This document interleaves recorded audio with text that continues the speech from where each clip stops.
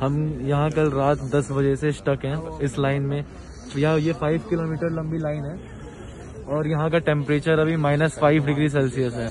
Indian government का हमें message आया था इंडियन एम्बेसी ने एक एडवाइजरी जारी की थी, जिसमें बोला था कि आप लोग शाइनी बॉर्डर पे पहुंचो और वहाँ पे से आपको रेस्क्यू किया जाएगा।